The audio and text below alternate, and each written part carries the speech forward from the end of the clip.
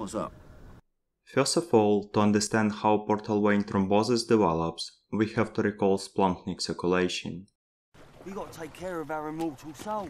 You know you can't read. It's the Bible. You get credit for trying. Initially, left ventricle push blood into the aorta, and from aorta blood is going into the splenic artery that supplies blood to the spleen, and mesenteric arteries that supply blood to the intestine, where in mesenteric capillaries fluid exchange occurs. To explain this, recall that cardiovascular system is a closed system, where fluid exchange occurs in capillaries because capillaries have pores.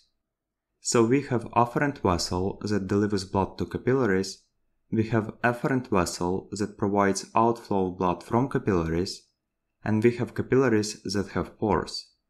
Through these pores in capillaries, fluid with nutrients can enter to the interstitial space. From the interstitium, cells that compose a particular tissue receive vital substances. But some portion of fluid after this usually remains in the interstitium. And then lymphatic system drains the excess fluid from the interstitial space into the venous system. The amount of fluid that crosses capillaries and enters to the interstitium depends on filtration rate. And filtration rate is described by Starling equation, Filtration rate is equal to hydrostatic pressure difference between capillaries and interstitium minus oncotic pressure difference between capillary and interstitium and directly proportional to hydraulic conductivity. It's a simplified version of equation because in this case to simplify, we suppose that values as oncotic reflection coefficient and surface area are constant. First of all, we see that hydrostatic pressure difference is the main driving force that push fluid out of the capillary. Oncotic pressure difference is the force that keeps fluid inside the capillary, and hydraulic conductivity in fact just describes how permeable is the membrane. And it's a general concept of fluid exchange that can be applied to every tissue. In case of intestine, mesenteric arteries delivers blood to mesenteric capillaries Mesenteric veins provide outflow of blood from capillaries, and cells that compose intestinal tissue called enterocytes. Then blood from the spleen by splenic vein and from the intestine by mesenteric veins is delivered to portal vein. Portal vein drains blood into the liver, where in liver capillaries that we call sinusoids fluid exchange occurs. The principle is the same, the difference is that in case of liver tissue, the vessel that delivers blood to liver capillaries is portal vein, liver capillaries called sinusoids, the vessel that provides outflow of blood from capillaries is hepatic vein, and cells that compose liver tissue called hepatocytes. After fluid exchange in liver capillaries, blood is going to hepatic vein, and from hepatic vein, blood is drained to inferior vena cava. But also we have to know that in this system we have additional vessels that remain from embryogenesis. Such vessels we called portosystemic collateral blood vessels. Back in times of embryogenesis, these vessels were crucial. They provided flow to esophageal and gastric veins. Also they provided flow to paraumbilical and superficial epigastric veins that are located on anterior abdominal wall and also they provided flow to upper anal canal veins, and from all these veins blood is drained into the inferior vena cava. Adult person in normal condition practically do not use portosystemic collateral vessels, because adult person has portal vein pump line that provides flow of huge amount of blood. From inferior vena cava blood goes into the right atrium and right ventricle of the heart, then blood crosses pulmonary circulation and goes into the left atrium, left ventricle, and from left ventricle again heart pushes blood into the aorta. So this cycle can be repeated over and over again. Now what? So let's suppose that thrombosis of portal vein occurs. The flow through the portal vein to liver sinusoids decrease, because recall that flow from portal vein to liver sinusoids is equal to pressure inside the portal vein minus pressure inside the liver sinusoids divided on resistance between them, and resistance is inversely proportional to the force power of radius. So if thrombosis occurs, then radius inside the portal vein decrease, With decreasing radius, resistance increase and flow through this area decrease. So the inflow of blood to portal vein remains the same. The outflow of blood decreases due to thrombosis. This results in accumulation of fluid proximal to the thrombosis, and initially blood begin to accumulate at proximal regions of the portal vein. And increase in volume of fluid causes increase in hydrostatic pressure. Increase in portal venous pressure we call portal hypertension. So portal hypertension develops. And the combination of portal hypertension and the obturation to flow into the liver sinusoids force a larger volume of blood to go into the portosystemic collateral vessels. These vessels also called portosystemic shunts. The problem with it is that the more severe becomes portal hypertension, the higher volume of blood is going into the portosystemic collateral vessels. And the higher the volume of fluid inside the vessels, the more distended they become. Come on, think about it. so to explain this, there is a vessel with fluid inside it. Fluid flow occurs from left to right, and fluid has some hydrostatic pressure. And as we know, hydrostatic pressure acts in all directions. Recall that hydrostatic pressure is basically a weight of fluid that acts on a particular area, and weight of fluid equals to mass of fluid times gravity constant.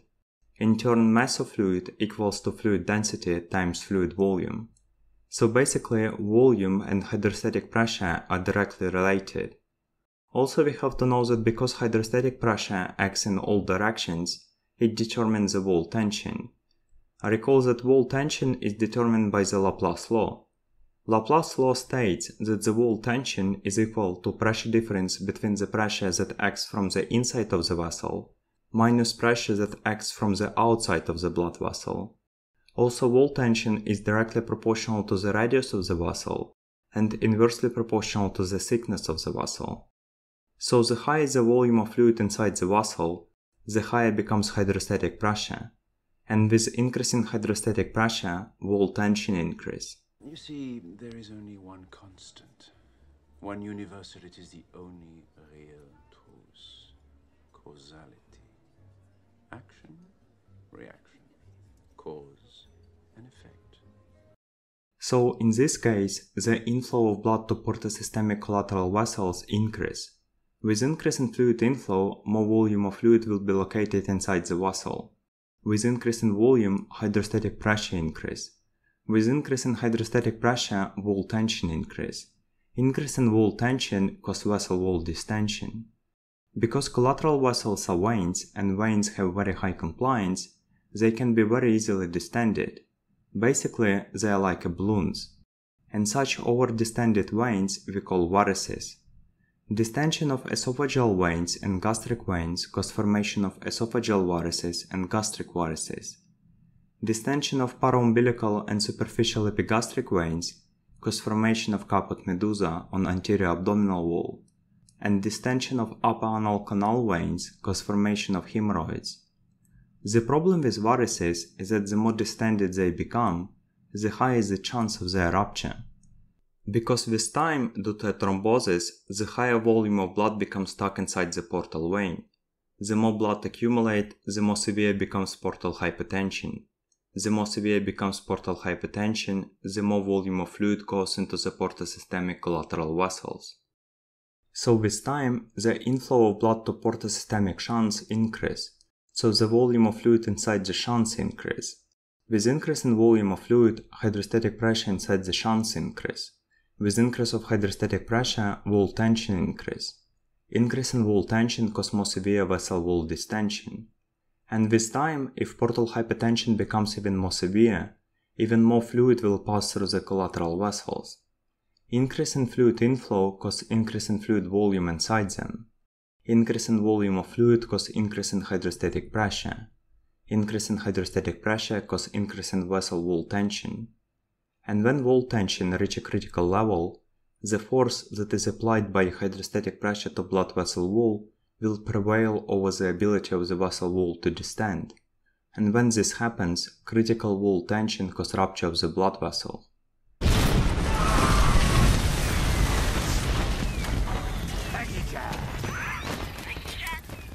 So the more severe becomes portal hypertension, the higher the chance that rupture of esophageal varices will happen, and this will cause upper GI bleeding. Also, the caput medusa on anterior abdominal wall will become more prominent, and also the higher the chance that rupture of hemorrhoids will occur, and this can cause lower GI bleeding. Also, flow that bypass liver is non-physiologic. Recall that in our blood we have some dangerous substances as free ammonia and unconjugated bilirubin, and the organ that provides their detoxification is liver.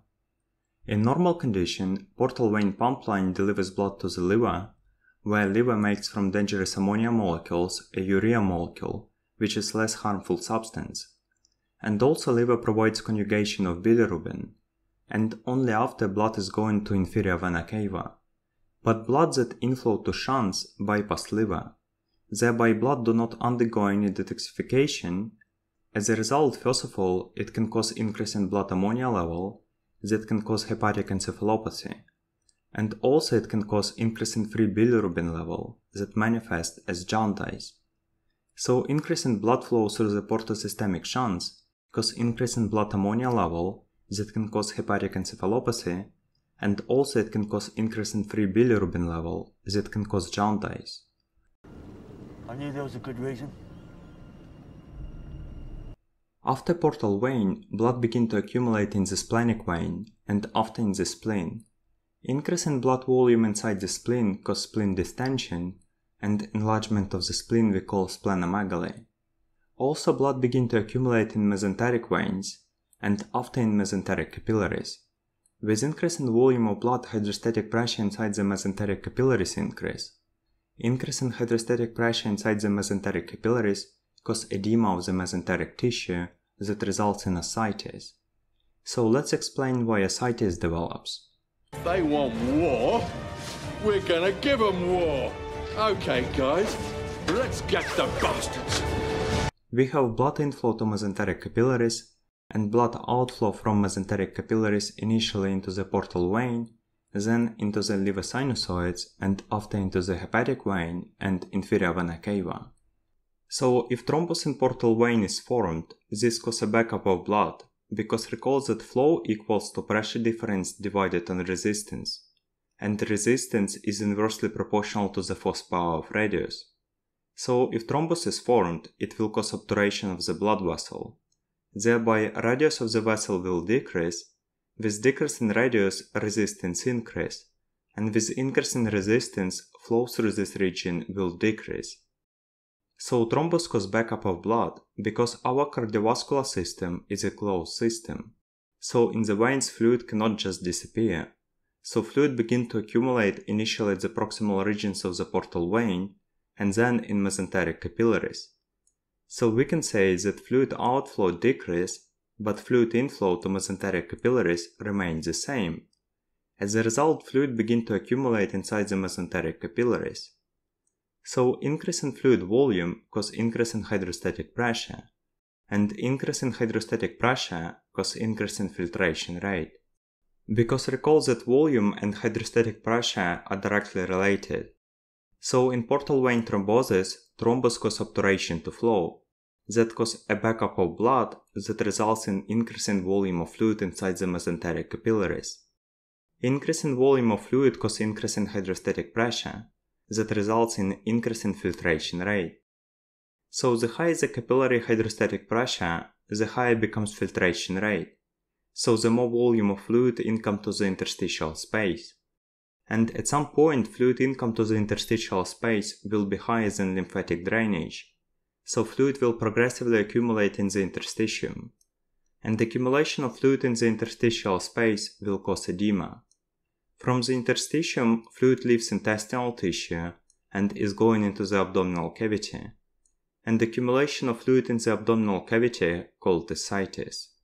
I like it. Simple, easy to remember. So, as we see in portal vein thrombosis, there are a number of clinical symptoms. First of all, it's portal hypertension that causes formation of varices.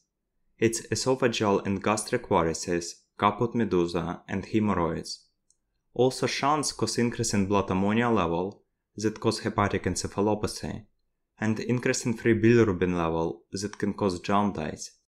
And finally, it can be complicated by rupture of the varices that can cause upper and lower GI bleeding. Also, the size of the spleen increase, and in addition to this, ascites of mesenteric origin develops. But also important concept is that there is no hepatomegaly. As you see, thrombosis occurs before the liver, so blood begins to accumulate at more proximal regions, and because of that, the size of the liver remains within normal range, and also ascites occurs only due to the intestinal component. Okay. Fine. Yep.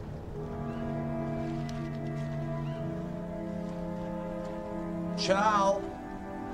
What's that mean? Ciao. It's Italian. Means food.